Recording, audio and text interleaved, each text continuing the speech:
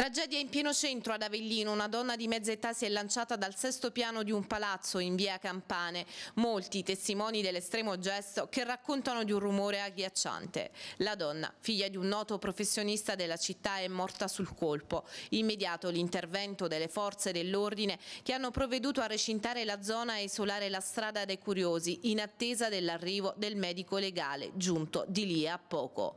Tra via Campane e le strade adiacenti è sceso un silenzio silenzio assordante.